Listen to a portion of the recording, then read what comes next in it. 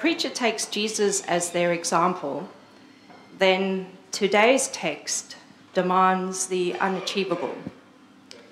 I'm supposed to announce the good news with such clarity that we see the truth of ourselves so clearly that you, the congregation, who ordinarily love me, I think, uh, will want to kill me. I'm not entirely convinced that I can do that. So the question is who has been Christ to you? Who has told you the truth about your life so clearly that you would do appalling things to make them shut up? This question is inspired by Barbara Brown Taylor. She once led a retreat and she asked the retreatants, Who has been Christ to you? While many had the usual compliments for those special persons who had been there in hard times, one woman hesitated before answering, and she gave a rather unpredictable, non scripted reply. When she finally spoke up, she said, I had to think hard about that question. I kept thinking, who is it that has told me the truth about myself so clearly that I wanted to kill them for it? Barbara Ta- Brown Taylor says further, she burst our bubble.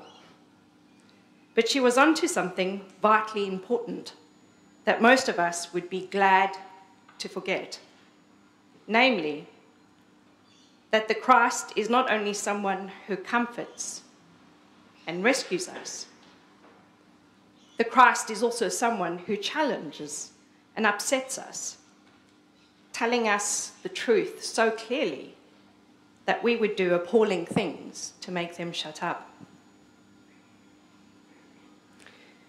So, if we continue in this task, who has been Christ to us? a Christ who has told us the truth about our lives and our society so clearly that we could hardly bear to hear it. I wanted some contemporary examples of who had been Christ for others, Christ to our society. People who had held up a mirror so that we could see the blind spots in ourselves, in our society. I came up with three examples, and as an addendum, I neither condone or disagree, they're just examples of what happens. The first example is what I consider to be a mild mannered and seemingly harmless writer from the UK.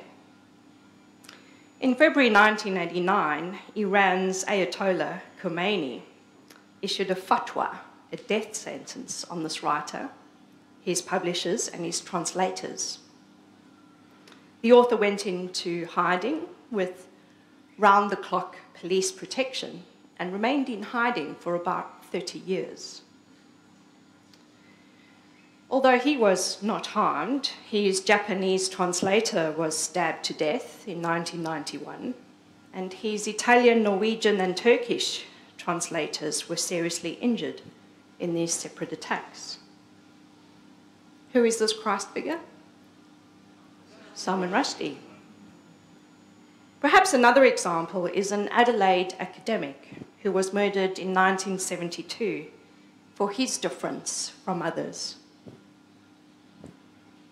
He became a martyr, and his murder sparked a necessary reform homosexuality was decriminalised after his death in 1975 in South Australia, 1976 in the Capital Territory, and in Victoria in 1980. And so, who is this Christ figure? It's George Duncan. And perhaps the third Christ figure who offers a difference so loud for us and so challenging that our response and behaviour is appalling is closer to home. How about Adam Goodes?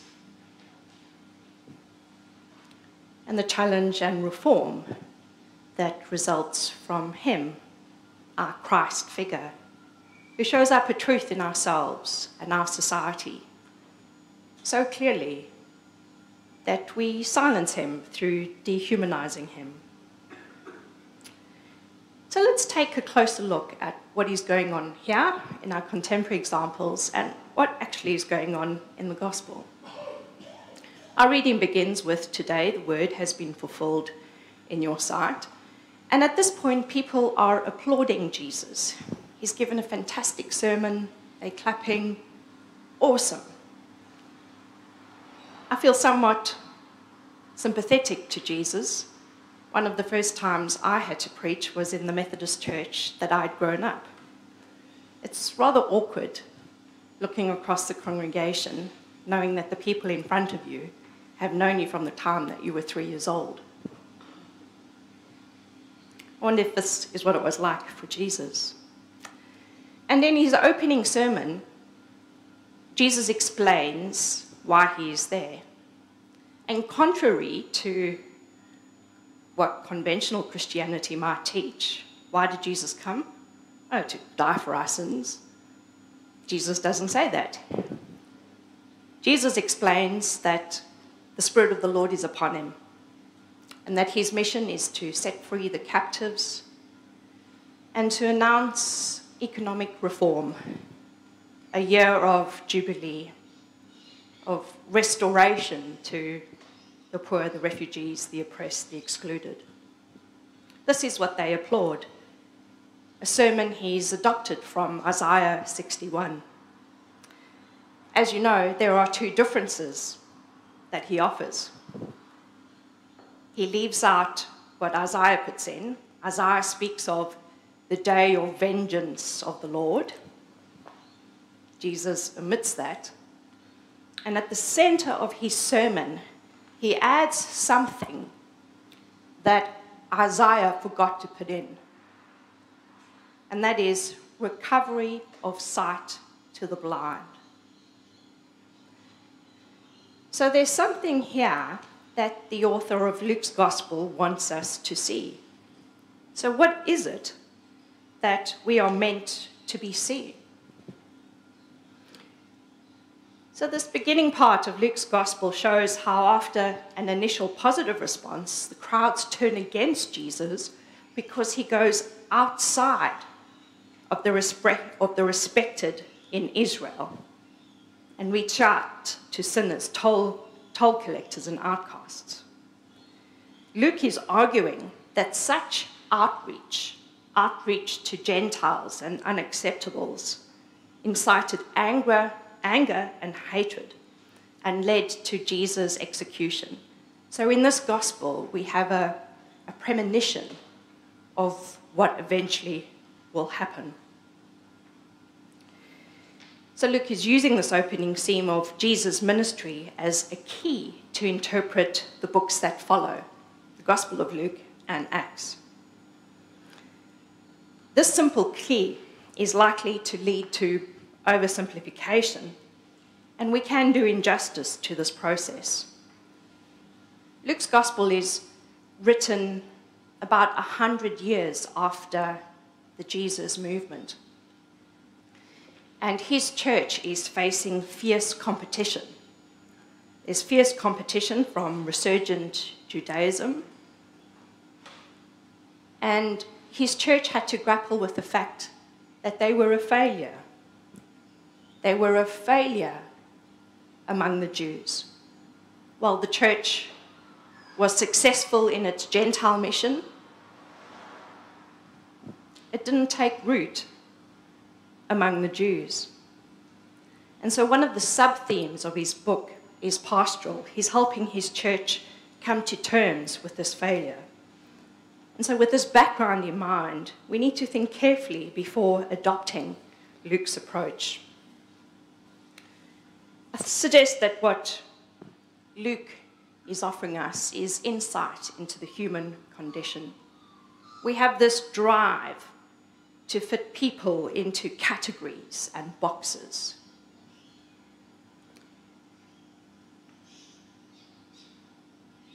We lose knowledge control when the unfamiliar confronts us.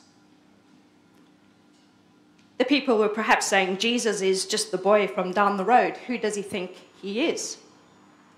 And so many people have to leave home and leave their local communities before they are allowed to spread their wings.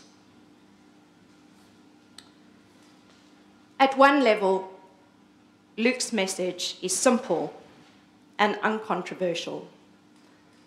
If you join this Jesus movement in living a life of compassion that is inclusive and without prejudice,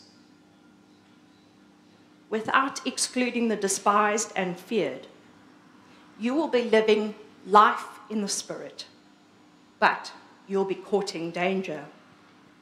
However, if you start hating the sources of that danger and thus dehumanizing the enemy, you have become a part of the problem rather than the solution. How often do we see this? Fundamentalists against fundamentalists. The progressive movement is as rigorous in its evangelical ardor as it is against the evangelicals against whom they complain. So, the mission and message of Jesus is about undermining the dehumanizing categories we apply to people. And perhaps part of the solution is found in Luke's mentor, Paul, in his letter to the Corinthians. The solution is the practical working out of love.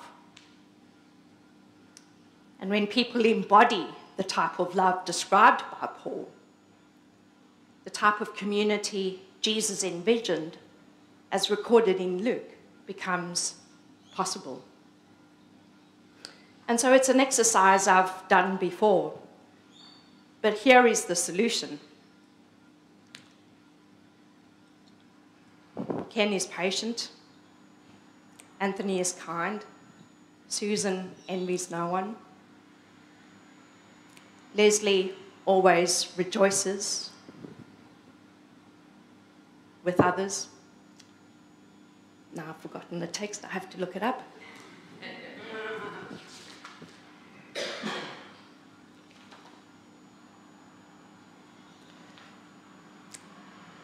What's your name? Jude bears all things, believes all things, and hopes all things.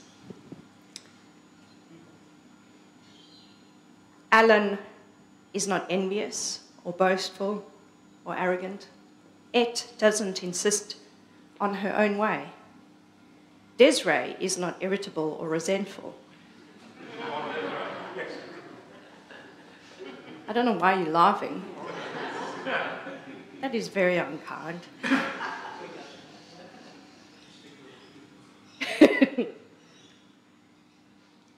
Bruce does not rejoice in wrongdoing, but rejoices in truth. So the practical artworking is that we love all and we become the embodiment of love. And I end with what helps me understand this clearly. My challenge for myself is to be curious about people and to receive them without label. So here I have two black shirts. Oh, shucks. Did you see that? Okay, let me hold it up one at a time. I'm not as clever as I think. Don't bust it for me. so here's one black shirt. Yeah? Short sleeve shirt. It's a bit older. This is a newer shirt.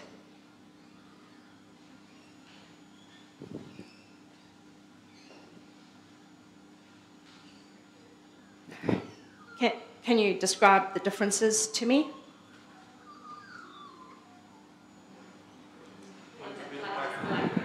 Well, one's a bit faded.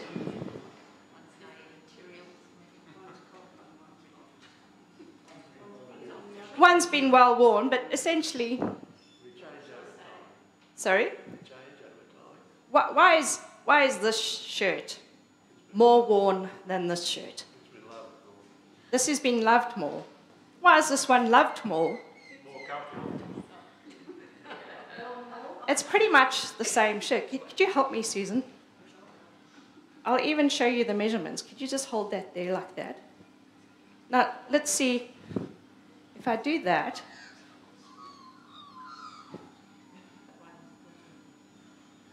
It's pretty much the same. Do you know what the difference is between these two shirts? Just a bit of writing.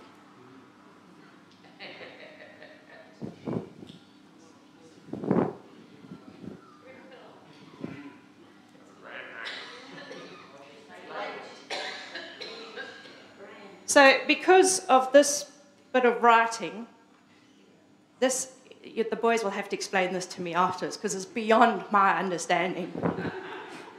so, because of this piece of writing, just a little bit of cheap print, yeah?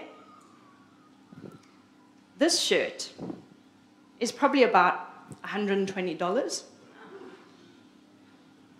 and it's loved and this shirt, which to my mind is exactly the same and looks a bit better, is $3. $3.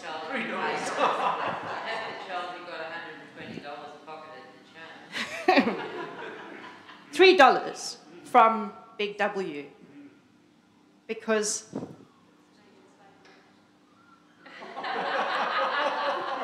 I think they come from the same factory. I can even prove it to you. This says made in China, poly cotton. Oh, well, made in South Africa. There goes that theory. this is organic cotton, made in Bangladesh. You, you, can, you can see the point being made that merely because of a label, some things are loved more than others. And so our encouragement in building the type of inclusive community envisioned by Jesus through the words of Luke, which may cause some difficulty for the status quo, is to love beyond the label, to receive people openly and curiously and to begin to embody the poem described in 1 Corinthians 13 until all people say of all of us what Paul says of love that we are patient, kind, and generous, that we are not arrogant or boastful, and that we never rejoice in wrong, but always rejoice in truth. Thank you for listening.